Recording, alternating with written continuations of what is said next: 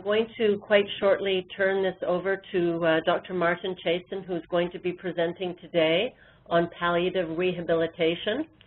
And uh, the, the, format is that he will be uh, he will be doing his presentation, and then uh, once that's once that's done, there will be a discussion with a question and answer period and, and time for wrapping up. And, um, and so please, if you can uh, take notes or any questions that you have and to keep those for the end of our uh, end of uh, Dr. Chasen's presentation, then that would be great. So um, with no further ado, I'm going to uh, hand it over. Uh, we're very pleased to have uh, Dr. Chason here um, presenting on palliative rehabilitation. It works. Okay. So, well, first of all, I'd really like to say that it's, it's, it's, my privilege yeah, to be able to uh, to speak to this group. Is it good? Can I continue? Okay, yep, so, so it's my privilege to be able to speak to this group. It's, uh, it's a group that was started a few years ago, and it's gone really from strength to strength. And I think uh, Jenny taking over it and bringing it to Toronto and making it part of the whole setup there uh, has, has really has catapulted it into a new orbit and uh, hopefully that we will continue to, to move and to move forward and get more people to, to be interested and to join the group and that this collaboration and communication that goes on will just continue.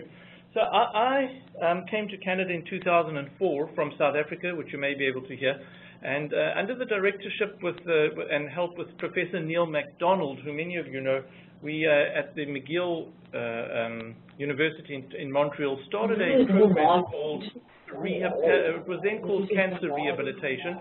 It uh, really went very, very well, and um, after three or four years, the Quebec government came and recognized this as a priority for cancer and for tr treatment of patients with cancer.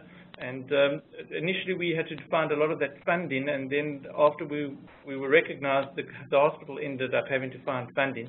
And it was at that time that uh, Dr. Jose Pereira here in Ottawa liked the idea very, very much and said um, he'd like to bring the idea to Ottawa. Um, and we started a, a, program here in the beginning of 2010, and uh, these are the results and giving you some of the background of how the program works and why it works. And um, hopefully answer any questions and really quite prepared to help anybody at any center that would be interested in, in starting such a program. So the first slide over there, this is a favorite, famous artist of mine. His name is William Kentridge, and he speaks about progression. And I think when we talk about uh, rehabilitation, as you'll see, it is a progression. Sometimes you have to climb up large ladders. Sometimes you've got to make a lot of noise. Sometimes you, have got to be full of love. But you have to move forward with this progression because it, it does, if it doesn't turn and it doesn't move, uh, it will go backwards. So um, I don't have any affiliation or financial with any type of commercial organization at this time that would have any direct or indirect connection with this presentation. So looking at the definition of, that we worked out in 2008 of what cancer rehabilitation really is, and, and we described it as a process that the, assists the individual with cancer to obtain the maximal physical, social, psychosocial, and vocational functioning um, within the limits that have been created by their disease and its treatment. Now, just of course remembering that a vocation doesn't only necessarily mean a, a, job, a work. To be a mother or to be a father is also a vocation. So to let the person that's got cancer op, uh, function optimally in the various spheres of his or her life. And if we look back at where cancer rehabilitation comes from, it's not new um, in the years of the, the early 70s when they were going to declare a war on cancer and say, how are we going to beat cancer? We're going to put as much money as we can into it, and we're going to develop the best drugs. But at the same time, uh, and this was a little, uh, a little hidden behind the drugs and, and, and the, the magic bullets, they started the, the, the, uh, the NCI sponsored a National Cancer Rehabilitation Planning Conference, and that was already held in 1972. And, and the idea behind this was that each and every patient should really optim have optimized their level of physical functioning, um, psychosocial functioning, and with the necessary psychosocial support, the, the different vocational uh, counselings that, that would enable the patient to uh, interact with their environment, and of course, maximize the level of social functioning. Now, why social?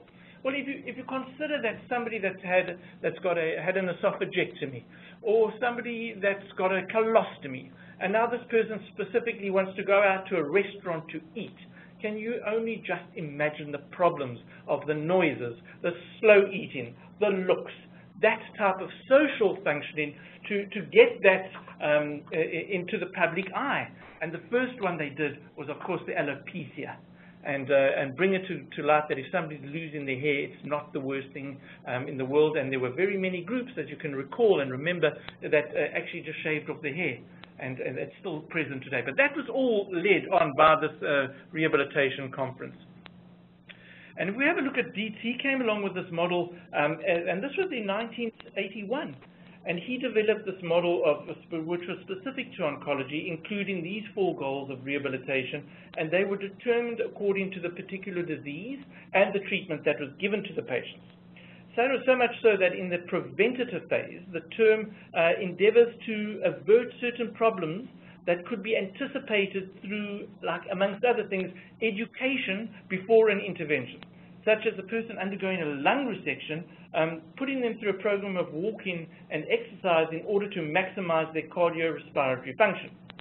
In, a, in the restorative phase, this uh, term treats disabilities through, for example, uh, rehabilitation interventions, interventions on recovery after a hemiparesis from a brain tumor, or the training and the use and the care of the prosthesis following an amputation um, during the supporter phase, this doesn't really focus only on this duration, restoration of the initial functioning, but rather on maximizing, and I think this is key, maximizing the level of functioning, and that's through the use of compensatory techniques or technical aids, where the person has now, for instance, lost that leg, and you're going to provide him the prosthesis, you're going to look after that prosthesis. He, unless you, uh, you, you know, you can't really maximize that function as he was when he had both legs, but you maximize what's left. You know, it's a kind of a thing that I always say, if you've got a pair of diamond earrings and you lose the one earring, what do you do with the other one? Do you also just throw it away, or do you care for it and you shine it and you polish it and you really treasure it? And uh, more specifically, and I think this is coming to the fore, specifically when we look at a patient-oriented outcomes.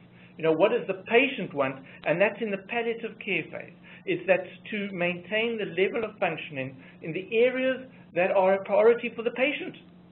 Even if he's got progression of disease, there, is, there are many goals um, that once you speak to the patient and you see what are their goals, how can you maximize what is left behind?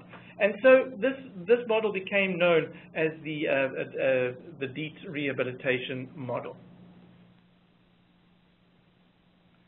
So um, generally, well, the way we look at it, and we kind of think that the, um, the main problem that associated with cancer rehabilitation is that, that you need to continually adjust and readjust the goal of intervention um, according to the progression of the disease. For example, an individual with stomach cancer within the space of a few months um, may be given information and a preventative exercise program before surgery um, a few weeks after the, uh, the, operation, the program should be reviewed, and then the rehabilitation may target getting back into shape before the chemotherapy begins. And, and then the, the, goals of rehabilitation are to maintain the patient's weight and his functional capacity. So, and, and it's interdisciplinary. It empowers those individuals who are experiencing all these um, symptoms and signs um, associated with the cancer or treatment and the main aim is to empower the patients to improve their own quality of life. As we know, the, the three worst things that patients fear are um, abandonment, you know, uh, if, uh, if, uh, fear, um, helplessness, hopelessness, abandonment, as I said, you know, and, and whatever we can do through this interdisciplinary shared objective to prevent those three things coming through, um, that would be our goal. So when we look at the interprofessional approach, who is it? It's the physician, it's the nurse, it's a dietitian, physiotherapist, an OT, social worker, psychologist, anybody, in fact, who has something to bring to the table to help that patient and their family improve their own quality of life um, and, and to bring their expertise. And I think this is the key of, of any rehabilitation team is to um, say that sometimes the patient will, uh, the physician is in charge, and at other times that same patient, the, the occupational therapist may be in charge, the physiotherapist, and it depends where that patient fits best. And that you only get when you've got a face-on-face -face meeting with a whole team. So when you assess the patient, patient I mean, there, there, are lots of things that we, we like to assess. We like to assess their symptoms, you know, um, how are they're functioning with their prosthesis, with the stoma, um, how fatigued are they? We, as we know, the three main um, complaints or, or, problems that patients present with advanced cancer is PDF, pain, depression, and fatigue. And what we try to do is to, obviously, is to evaluate that pain, depression, and fatigue so that we know that objectively what we're measuring to add in the intervention and then to objectively measure it again. And I think this objectivity and, and proper measurement, scientific measurement, is the way forward, not only when you measure a, a tumor response, but now we're looking at patient response, patient symptoms, patient-oriented outcomes. Why is the ESAS as important that in each and every cancer center in Ontario, the ESAS is a standard requirement? It's because the majority of our patients have advanced disease, are receiving palliative treatments, and what should be, we should be measuring the patients the pain, the depression, the fatigue, the, um, the lack of appetite, the constipation, and all these other symptoms, anxiety, depression. So these patient assessments are very important. And so I'm just going to go through a few um, areas of, of, of, of, uh, of how we're assessing and what we're assessing, and let's look at the nutrition. What does the dietitian do? So the role of the dietitian is really, she makes an assessment of every patient that's referred to this program and provides them and their caregivers with information on how to maximize the intake of calories and protein. Protein is very important.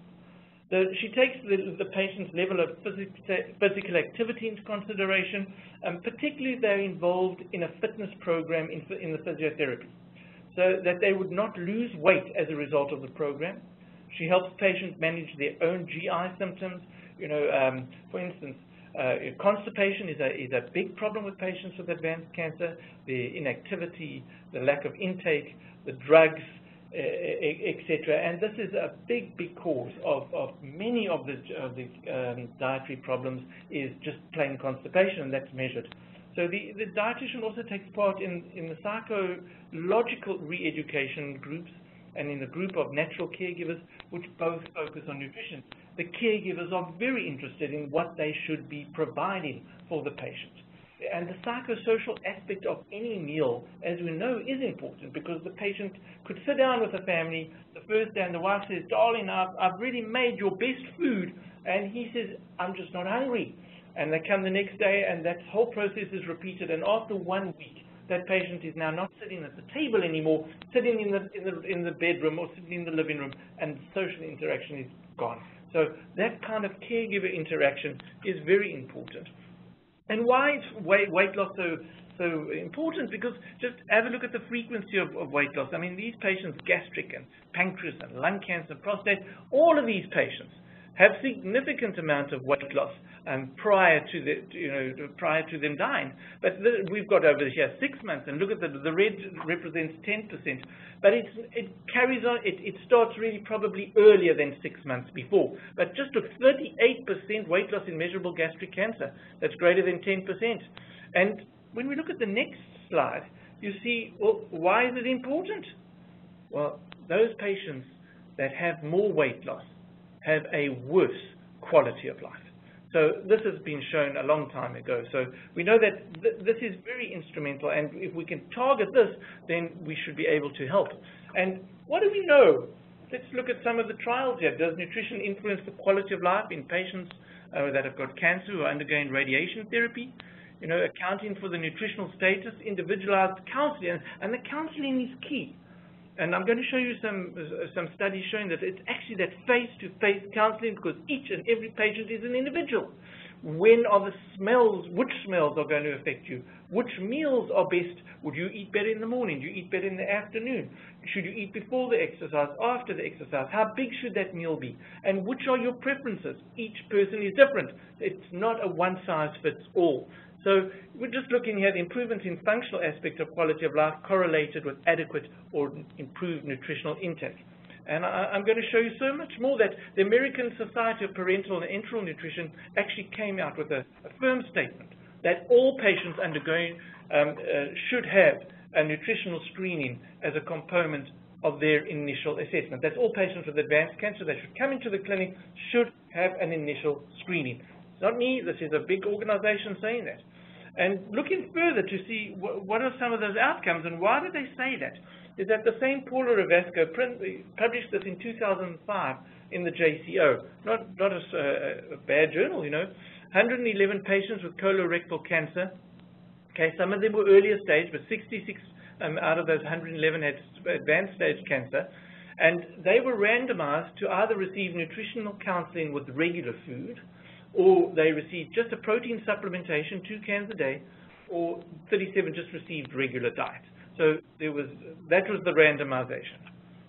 And looking further how they went, that 15 in were malnourished um, in group 1, and 14 in group 2, and 13 in malnourished in group 3. So those, once again, the, the groups were nutritional counseling, um, protein supplementation, and just regular diet. And at three months, there was additional nutritional degeneration in group 2 and group 3 relative to group 1. And that was statistically significant. So really beginning to show you that that nutritional counseling is a key, um, a key component of treatment.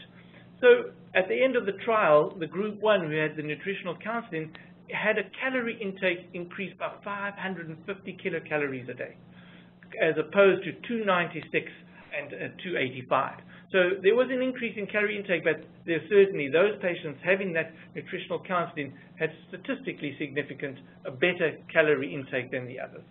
And at three months, we see that the quality of life was maintained or improved in group 1, maintained or deteriorated in group 2, and quality of life just deteriorated in group 3. Once again, the three groups, group 1 was those that having nutritional counseling face-to-face with a, a, a, competent dietitian, group 2 having a caloric intake uh, supplementation, and group 3 um, no supplementation and no uh, uh nutritional counseling, just told to continue with a regular diet. Okay, let's see what the occupational therapist does. So the goals of the occupational therapist are really, I mean, we, we're very privileged to have occupational therapists, and uh, what do they really do? So they look at rehabilitation in terms of everyday activities. You know, the, uh, they work with the physiotherapist they, in order to increase this patient's functional capability and physical fitness evaluating the patient's ability to carry out the, the ADLs, activities of daily living, and with patients and in tandem, they determine which activities are a priority. So once again, asking the patient, what do they want? What are their goals? What are your priorities? If your priority is not to get out of bed, well, I'm not going to force you to get out of bed. I'm going to suggest that, that in order to do what you want to do, you should try and get out of bed. You know, and, and how do you work ergonomically? What is the best way to conserve your energy? And um, other things that we, we now doing with occupational therapists is specifically patient education programs for peripheral um, neuropathy that are for chemotherapy-induced peripheral neuropathy, difficulties in sleeping, that, uh, that the OTs definitely have a, a, a role to play, um, in addition to what the nurse and the psychologist and whoever else is working, working in tandem with all these people. And the physiotherapist, I mean physiotherapist let's see what this great lady does because the program is really um, based on physiotherapy and alongside um, the physiotherapists or the other groups that work in and around because the exercise program is important. We use exercise, and this is not us, this is just we know that exercise is the best antidote and the best treatment we have in order to improve patients' physical capabilities and functional status. You know, uh, fatigue that's it, and all our patients are fatigued. So exercise works best. She would, the, the physio would perform an assessment of the patient and then set up a specific exercise program that will address the specific needs. Programs include strengthening and aerobic fitness exercises and often has to find ways to deal with specific problems, a lack of balance patients are too weak or they may have had a brain tumor or they may be just so deconditioned that their balance, their el being elderly, their balance is bad, some localized pain or post-op decrease in range of movement. And of course, the exercise are all geared and have the goal to increase the patient's functional independence. Uh, the patients were able to attend our two-week, uh, bi-weekly group sessions led by the physiotherapist, and she, so we have a, this particular group, and her aim there is to help patients adapt to a new lifestyle habit.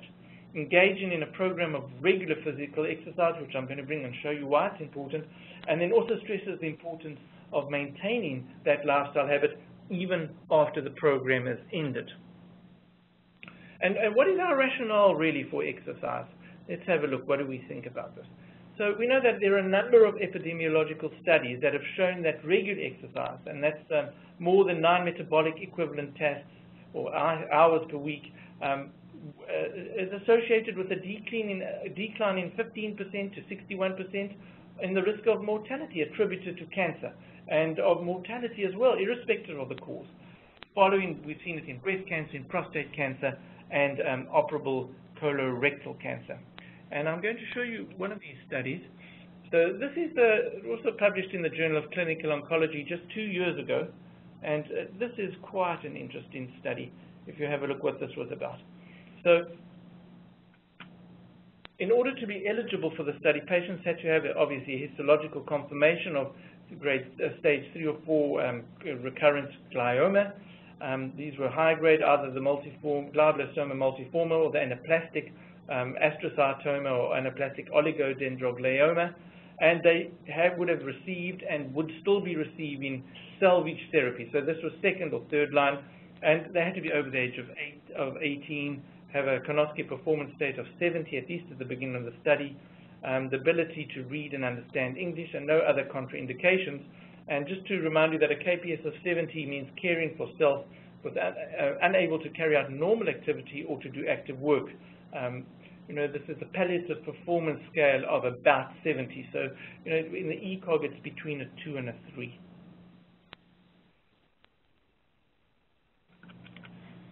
And um, I'm just going to show you just a little bit of what this exercise behavior is, you know, because I think that's quite important for you to see. It's that um, these metabolic equivalent tasks, normal pace at 2 to, mile, two to 3 miles per hour, is three hours, it gives you a MET of 3, whereas if you're running faster than 10 minutes, you get 12. Um, if you're playing tennis, you get 7. If you're doing yoga, you get 4. And if you're just mowing the lawn, which is quite vigorous, you get a, a score of 6. And so, the, furthermore to that, the, the, statistical analysis was quite interesting is that they used the Cox proportional risk model and then a likelihood test, Uh, ratio test was also used in the, within this context and it was to measure the contribution of walk distance and exercise behavior. Now, we're going to speak about exercise behavior, but this was used in order to predict survival beyond that which was predicted by the performance status or the age and sex and stage and number of prior therapies, and we looked at, they looked at the, what the functional capacity was, etc. And just looking at this, we see that six, 200, there were 243 patients, so 65% agreed to participate um, and took part in the study until its end. And interestingly enough, there was no independent association between the six-minute walk test and survival. It did not provide any incremental prognostic uh, information about those with the normal traditional prognosis, uh, markers of prognosis, the average age was 49 years, the KPS average was, seven, it was 90, and the average for the six-minute walk test was 448 meters. 26% of patients um, reported that they actually did more than 150 minutes per week of exercise, and this was of moderate or strenuous, while a quarter of them, 24%, reported that they did no exercise the median six-minute walk test in each uh, did not really provide any incremental in prognostic information, is what I've said. So looking on what happened with the exercise behavior, and this really showed that it was an independent predictor of survival with a p-value of 0.008. There was a significant difference between these two groups, and it was cut off at nine metabolic equivalent task hours per week so that those who did less than nine had a median survival of 13 months, and those that did more than nine met hours per week had a survival of 21.84. In other words, the more exercise, the greater probability of survival. So exercise is not a suggestion. Exercise should really become what I call a prescription for patients with advanced cancer. So we know that the, there are other randomized trials that have really shown that training with structured exercise is safe, it's well tolerated, and it's a therapy for patients with cancer, both during and after primary therapy. And we're not sure 100% how it works, but it modulates, could modulate systemic factors, metabolic changes, steroid hormones, immune surveillance, cytokine, angiogenic productions. There's, there's a wide range of the effects of exercise having on, um, on the amygdaloid, uh, uh, looking in, in, the brain at how it modulates mood and motivation. Um, there's a, really, there's a, a, lot. There's a new book that's actually just come out. It's a bestseller called Spark, looking at children that exercise before they go to school. These are not patients with cancer, but uh, children going to school and how their general performance increases uh, statistically wise if they do exercise before they, they start classes in the morning. So what about this? Why, why was the six-minute walk test really not associated with survival, while we know that it has been associated in patients with non-small cell lung cancer?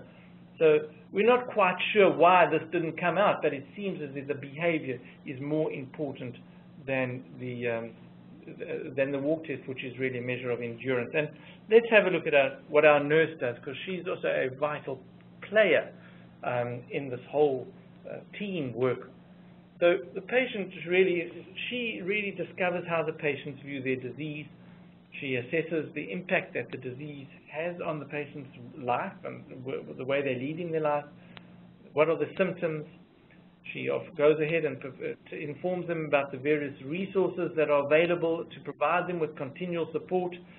She has the nurse really par excellence has extensive contact with the patient and the family and is most often the point um, person of which the family will then contact. They're now at home, they suddenly see that their, their pain has gone from a 2 out of 10 to a 4 out of 10 within one day. The nurse would be the first person who would then advise the patient what to do and allow and explain to the patient that should this happen again, the way forward would be to treat yourself, have the, have the ability to recognize the symptom and to have your own intervention. So um, going along with the, uh, you know, the sleep hygiene, which is, you know, that's 45% of our patients don't sleep. So it's almost half of those, and those patients that don't sleep have worse symptoms. So we're not sure whether it's the worst symptoms not causing the sleep or the not sleep causing the worst symptoms. And then, of course, we have our social worker, who really is a, also one, I can say everybody's just such a vital part in the team but the social worker um, is frequently consulted when psychosocial problems are identified by other team members. So she'll originally assess all the patients, but not, would not specifically have a role for each and every patient and it's specifically requested. And she helps the patient and the family to cope with a lot of the illness, to uh, look at the different problems that, that are evolving and to help solve them, and then also to see what are the necessary financial resources that are available, um, and giving that psychosocial patient for the patients and the families, looking at anxiety, what, what family relationships uh, are involved. You know, when a patient has cancer, it's, it's about loss. You know, you, you, you lose your hair, you, you can lose your breast, you lose your independence, and you, you lose your job. Very often you lose a spouse so it's about loss, and I think what, what we want to do with rehabilitation is say, wow, that's enough loss. Let's take what we have, let it stop there, and, and stop the loss, stop the hemorrhage. And I think the social worker has a, a vital role to play in that, um, in that field. So just looking at the role of social support, and I, I think this is really very, very interesting studies uh, that I'm going to show. This, this came out just two years ago, the marital status and survival in patients um, with, with cancer. And uh, the objective was to see and to and try and work out what is the impact of marital status on patients, um, what is at the stage of diagnosis, the use of uh, definitive therapy, who had, who didn't have, what was the cancer-specific mortality associated with this, you know, and uh, looking to see what was the cancer-specific mortality.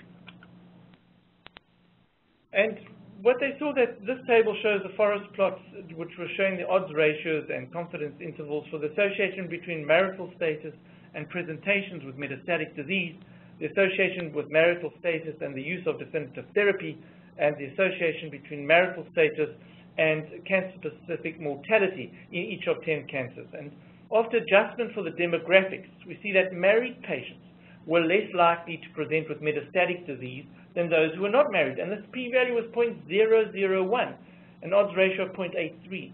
And the, the tumor, and after adjusting for demographics and tumor nodal status, ma married patients with non-metastatic disease were also more likely to undergo more definitive surgical or radiotherapeutic management than unmarried patients. And once again, after adjusting for the demographics, tumor, and nodal stages and the use of definitive therapy, patients who were married were significantly less likely to die of their disease with a, with a hazard ratio of 0.8 and a p of 0.001. So quite significant.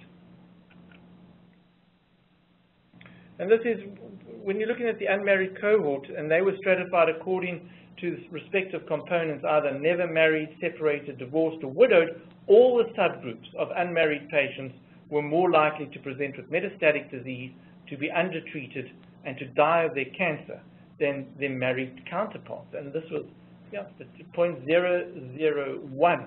And, um, and the effect of marital status was, was greater for men. So, Looking, we say that the unmarried patients were then significantly greater risk of presentation of metastatic disease under treatment and death resulting from their cancer. So,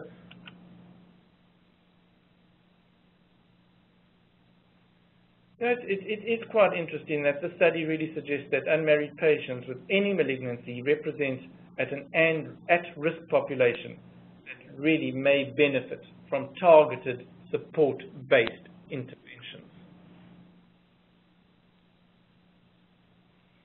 And I, I, think it's just important that I, I put uh, two testimonials in here so that we can see what, how the patients feel and what they feel about it. So they say, this one says, a diagnosis of cancer is life-changing.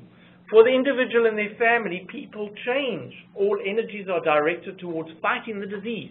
You're fighting the disease. It's a big battle. The world outside recedes as you redirect every iota of your being towards the fight of your life.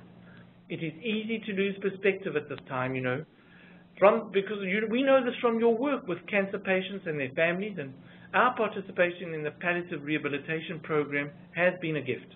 In eight short weeks, you have helped us to move the focus away from the disease that has consumed us and rediscover the balance in living. The benefits of interacting with others in the same situation finding support and solace in the company of companions in the journey has been most helpful piece. So I'll just say one thing on that before we read on is that what we find is that when the patients get into the gym, they start talking to one another. And this has been specifically for men who don't really want to come to the program to meet other patients. Once they start talking to other, that social network just develops. And after a week or two, they're organizing carpools amongst one another. So having a destination to look forward to twice a week knowing we'd be greeted by friendly faces who were genuinely interested in our care was also very encouraging and something to look forward to. And I, I really, I think this one expresses a lot of what I, I think is patients enjoy and what they want um, from this program, and it's that um, I feel I've been remiss in not writing to you sooner. I cannot say enough about how positive I felt being involved in your team the thing that impressed me most was your profound respect for me. I think that this was only surpassed by the admiration and the respect you had for each other. This allowed me to open up and be more trusting, and I knew that anything I shared of value and significance was relayed to other team members. My wife and I were no longer on our own. Simple things seemed to take on profound meaning. You need to eat more or don't feel guilty about resting. You don't have to endure the pain. That's why we give you medication are a few things of the a few of the things that come to mind. And as I write, I realize that the most important thing was that we felt we were part of a team, and that made all the difference. So let's have a look what our rehabilitation program has done. And once again, just to go over what we said, that the palliative rehabilitation program goal is to enhance the physical, psychological, social, and professional well-being of the patient, taking into consideration the limitations imposed by the disease or the treatment. These are our goals to empower patients who are experiencing the different symptoms um, to take control, to keep patients as active as possible, and to target patient-specific problems through assessment and treatment, making it a patient-centered approach, and this is the way forward. We know what CPAC are saying, we know what the rest of Canada are saying. Look what the patient wants. Take this patient on his own journey. So this really falls and fits into, into our goal. We have uh, at the, Elisabeth Bruyère, which is a small rehabilitation hospital, we have uh, six clinical team members. There's a doctor, a nurse, PT, OT, dietitian, and social worker. And this is how we do it. The patients will come in. Um, they will be, we tell the first visit they'll see all the, the, uh, the specialities for a half an hour each, the OT, PT, dietitian, the doctor, the nurse. Initially we had a psychologist, but we felt that not every patient needs a psychologist that the majority of cases and, and, and, and adjustment problems can be helped by a good nurse and a good social worker, and that the more complex problems um, that would be for a psychologist. And putting the patient and the fam caregiver at the middle of the center, we then each person evaluates, and at the end of the day, of the session, we all get together and discuss each patient individually. So we see where the problems are. And interestingly enough, and I'm sure you find this too, is that the patient may tell me one thing and tell the nurse something completely different and the OT something even more different. And what we work, what we work out at the end of our, our, consultation is that really there's probably one of the team members that clicks best with the patient and they kind of take control of that specific patient. And then once a week we evaluate and we are brought up to date on how the patients are progressing in this eight-week program. We get patients that come from GPs, oncologists, surgeons, um, some of them from the tumor panels. Uh, we could get patients that come from the, the, uh, the uh, in Quebec, they called it the, infirmier pivot, the nurse, the patient nurse that's in the clinic, in disease-specific uh, nurse. Um, and others, and if we want physios, dietitians, but they must have an attending physician, and these attending physicians retain their responsibility for the patients. Um, we don't take over control of the patients. We don't change the most. We, we don't become the most responsible physician at all. Patients will patients will be seen after that initial consultation. We'll get a letter back to the physician, and the, if there are problems in between, there's communication at the end of the program. Their reassessments will also be shown. And these are the general uh, criteria for admission. 18 years old, have a relatively good performance status finished anti-cancer treatment but still living with disease and needing assistance in a two areas. Um, they could be fatigued and have pain, uh, be fatigued and have severe depression, um, what, whatever, not eating properly, uh, but at least two so that it's a multidimensional, and then the procedure which I've already explained to you. And we just actually published this just recently in Current Oncology showing that the uh, the effect of this palliative rehabilitation, oncology rehabilitation, um, has an effect on function and predictors of program completion. This is a slightly updated, which I'm going to show you today. And, and this is our team. This is in Elisabeth Bruyère. Uh, we have a, a, a, clinical research assistant, a nurse, physiotherapist, occupational therapist, dietitian, social worker, um, and then, of course, the manager, who's so important, and, and then the, the, the clerk, you know, with, without somebody to organize these appointments that they happen on time, it, it could be disastrous. If we don't know that the patient should be seeing the OT at 2 o'clock and the physio at 2.30 and the, and the dietitian at, 2, at, at 3 o'clock, that organization is absolutely vital to the patient. So each and every person playing a, a very important role.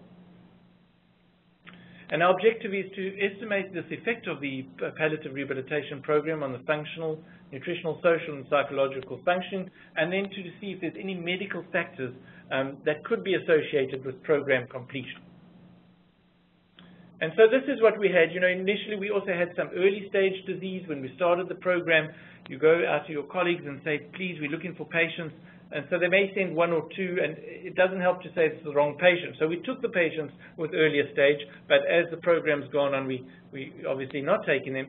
And we're looking now specifically more at the advanced stage, stage three and four.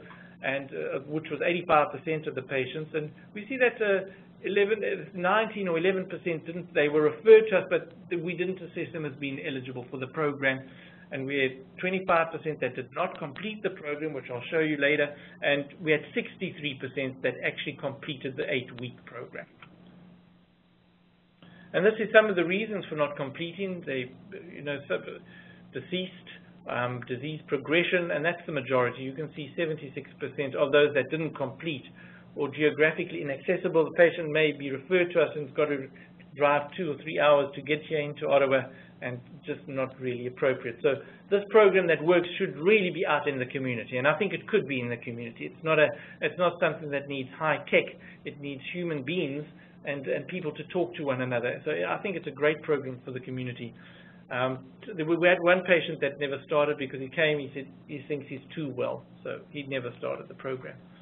And a, a spread of diseases, breast cancer, and that's by word of mouth because, uh, you know, one patient has undergoes the program, sits in the in the waiting room waiting for the doctor, and the next minute speaks to her friend over there. Says, "Oh, great program." So then they ask the doctor to refer them. Hematological, it, it really works very well for patients. We've had patients coming in where they uh, are going undergoing going to undergo a bone marrow transplantation. We assess and tell the doctor, you know, do you realize this patient can walk only 100 meters or is so so, so severely isolated that they'll never cope. So we've helped and the hematologicals do well. I treat head and neck cancer, so we've had a great deal of amount there. But otherwise, this is not a, a select group, it's just what was referred to us.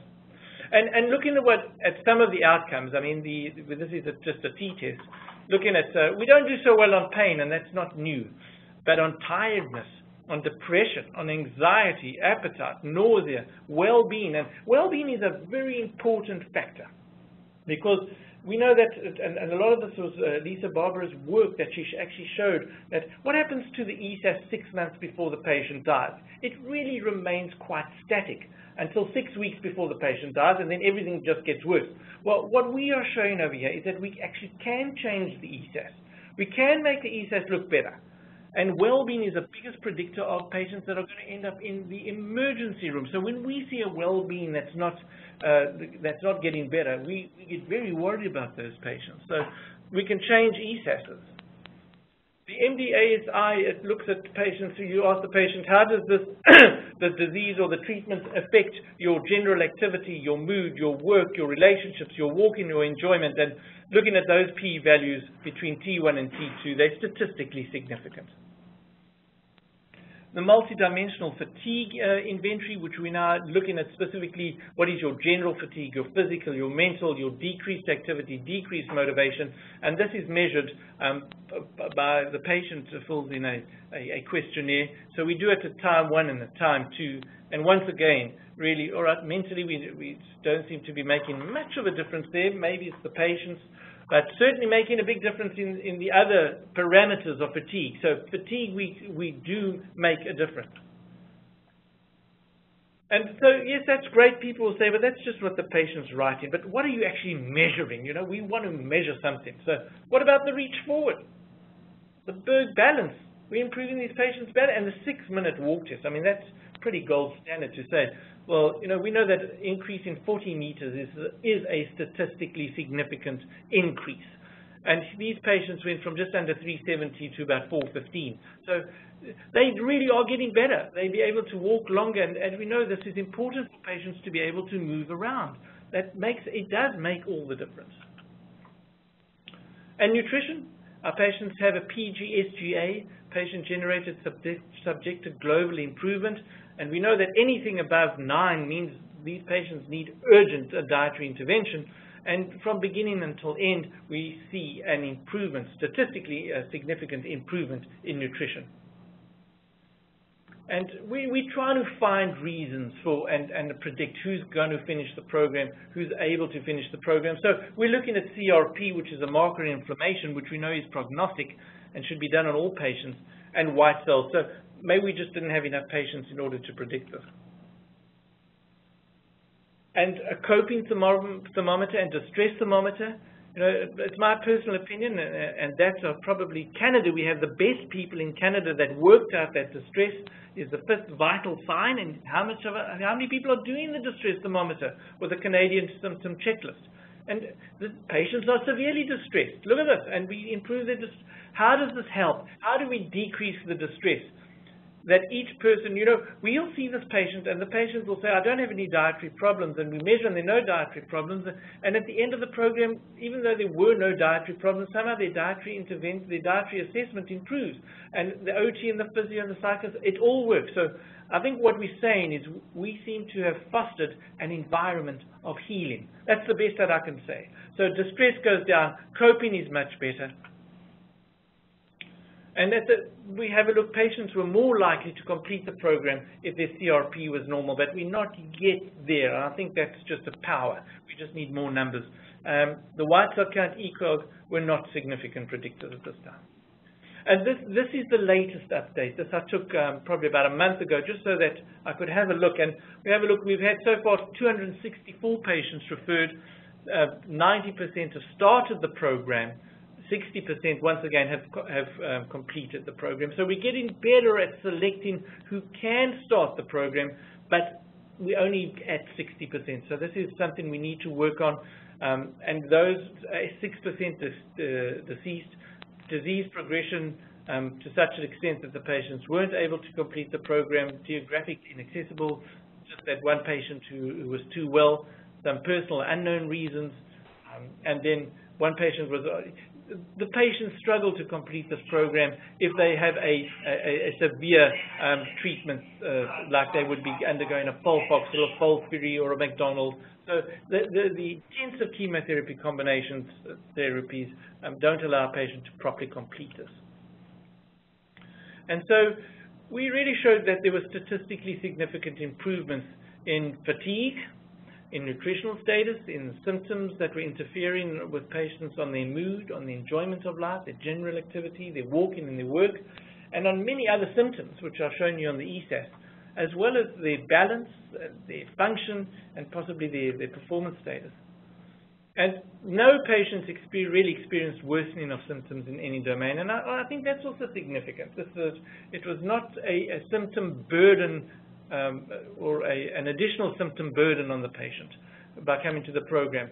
We unfortunately do work in a hospital there where, where parking is at a premium, so we try and you know help the patients uh, and get a parking place and pay for that parking.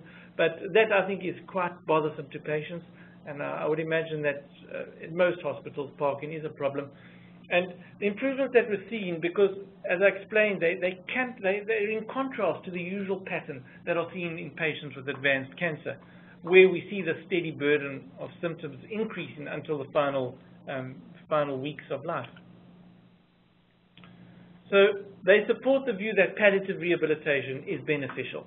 Now, following on the famous Temel article where we showed that patients having an early palliative care referral, which was a, a, referral with a physician and a nurse, um, whereas we give in the whole gamut, but the physician nurse statistically improved the patient's survival, and over and, over and above the survival benefit, patients actually received less chemotherapy.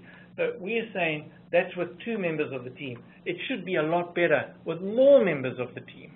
So we would think that that would follow. And this has led now to a, you know, there's a, there's a, we just managed to get a CIHR grant looking at multimodal therapy. So its patients will be receiving chemotherapy and randomized then to receive, in addition, an exercise program, uh, uh, nutritional uh, uh supplementation with EPA, which is a you know, vitamin E, eicosapentaenoic acid, and an anti-inflammatory drug. Um, which we're going to be using ibuprofen. And this is, in, we're doing it in conjunction, in, in, we have in Canada three investigators, which is myself, I'm the PI, we have Vickie Baracos in, in Alberta, and uh, Thomas Jagoe in, at McGill. And then we're working in connection with, uh, in, with, with, investigators in, in Scotland and in Norway. So it's a, it's a national, international study. And so we're looking to see does, what happens to those patients if you if you follow up. Are the are the gains uh, are we able to to maintain and are those gains that the patients have been sustained? And We've got limited data on that. Andrea Feldstain is actually looking at that. She's seen, I think, 20 patients at the three-month mark, and we've seen that anxiety and depression seem to still be um, maintained. The, the, lower levels of anxiety and depression are still maintained. So it's still very early days, but we're looking to see is this sustainable and how has the effect main, uh, helped the patients. One of the things that we did show in Quebec is that patients that were on our program never went to the emergency room. We kept them out of the emergency room. So I think that's important. And so um, as I finish off the talk, uh, what I think the message of this to us all is that there is some light at the end of the tunnel.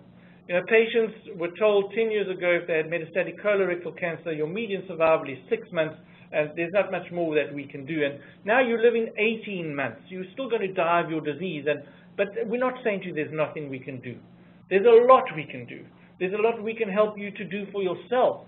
You know, and, and, and if you can be empowered, you know, that you won't feel once again helpless, hopeless, or abandoned, then we've done our job. So this is a program, and I think the message should go out. It's it can be done locally. It can be done in the in the in the community. It's rehabilitation.